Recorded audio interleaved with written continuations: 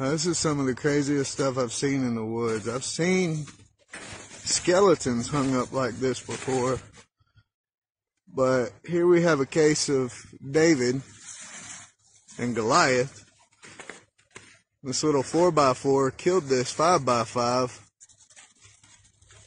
And the coyotes have eaten this 5x5. And the homie here is stuck. Stuck, stuck. So what we're gonna do is try and get him some, try and get him some help. Well, we cut the uh, antlers off, got him unstuck, and now he still wants to fight this dead deer. Look how tired he is. At least we saved one. Yeah.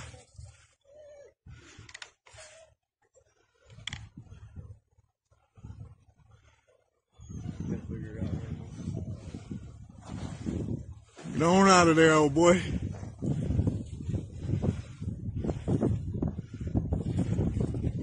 Look how tired he is.